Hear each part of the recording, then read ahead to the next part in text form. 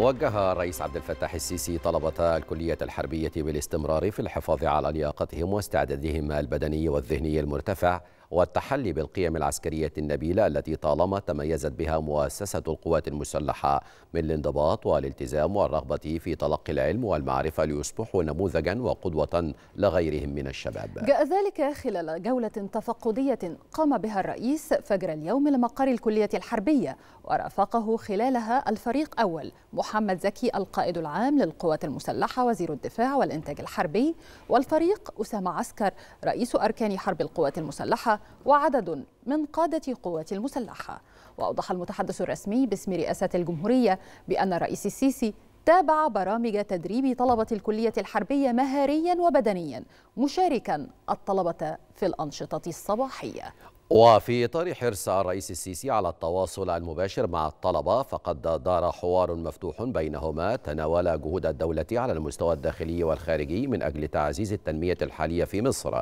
وكذلك تحقيق الاستقرار في المنطقة في ظل التحديات الإقليمية المختلفة فضلا عن جهود تعزيز التعاون الثنائي بين مصر وكافة دول العالم بما في ذلك الصعيد العسكري. كما أشار الرئيس السيسي إلى مجمل القضايا في المنطقة والثوابت الأساسية التي تقوم بها عليها أو تقوم عليها السياسة المصرية من الانفتاح على كافة الدول الكبرى وإقامة العلاقات المتوازنة والمعتدلة معها من أجل البناء والتنمية وتحقيق السلام والأمن